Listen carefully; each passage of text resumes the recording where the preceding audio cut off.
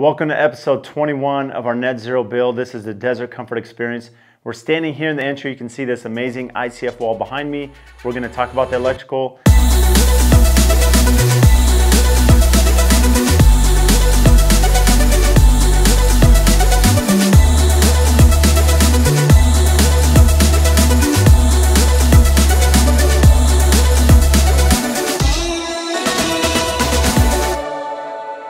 Standing here in the entry and as you can see throughout the main structure, so the entire house, we have two structures on this build, uh, both net zero. So the main house is roughly 3,000 square feet. It's all ICF construction. This is Fox blocks, insulated concrete form on the exterior walls. All the interior walls will be rock wool, which we'll speak about a little bit later for sound bats. We have a detached guest casita that was ready frame. So that's from Builder's First Source, ready frame construction that is uh, wood frame construction. And then we also have uh, rock wool on the exterior and interior, which we'll have another video about that coming shortly. But as far as the ICF, one of the questions often asked, and for those of you that follow us on our social media channels, Instagram, we've done some stories and some reels about this. But here's the content to show how we're installing electrical. Something to think about with ICF. A lot of clients will ask us, okay, Brad, well, cost-wise, you know, if I'm gonna do ICF as opposed to wood framing, cost difference. Well, it's really hard to give a general percentage because there's so many variables depending on the layout, you know, if we're doing the stem walls in ICF.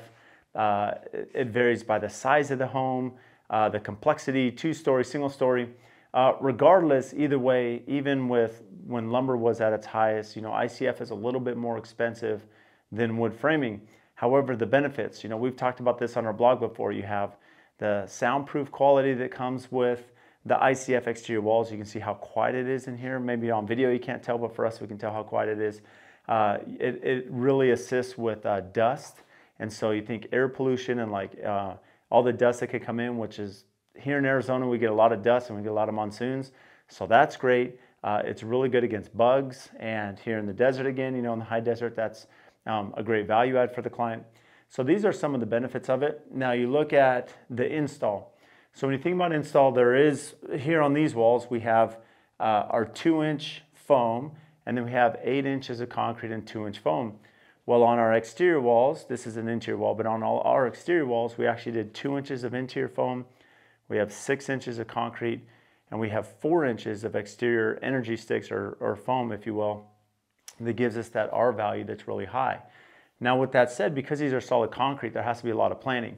So the drywall, we're gonna take you around the house. You're gonna see some B-roll in this house, but we actually mount the drywall straight to the ICF here. So you don't have to fur these out. You don't have any wood framing members.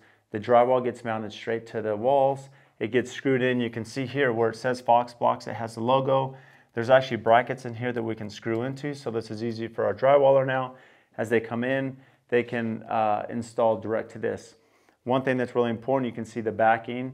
So if we're doing floating cabinetry, especially in this modern home, we have floating cabinetry or maybe handrails, uh, you know, grab rails, whatever they may be, if ADA compliant, you'll have to notch these out or core these out to put um, framing members in. That way you have something sturdy to mount to as well. You can see in the jambs here we've done that. So our LVLs here in the jambs, um, this gives us that strength now as we're mounting doors on the interior. Going back to electrical, so the way we do this, as you can see, is we have a hot knife. So as we're talking about pricing, there's a little bit more cost to go through um, the, the concrete exterior walls. Additionally, there is a little bit of a cost from our mechanical companies because there's a little more logistics for them for automation, as you see here, and then our electrical to come through and run all the wiring. You know, plumbing they have to core through as well for all of our plumbing, which in the showers we have this DTV system from Kohler that we'll talk about in another video um, upcoming. But as you can see, what ends up happening is with a hot knife, we core this out. So we core out this channel. As you can see, this has been cored out so that we can run our wiring. So all of our wirings ran. We mount the boxes, you know, electrical boxes, which are pretty standard. Additionally, although it's covered up now, we have staples, so you can actually staple in the wires inside the cavity there. And that allows us to get through inspection after we pass frame inspection or four-way inspection. With our city inspector, we can come back and we can now foam uh, everything that we cut out with the hot knife, right? Everything that's been cored out. And so this will still come back and get refoamed. And you can see that as we bring you back to the guest casita, you can see we're putting up the sound walls right now with rock wool.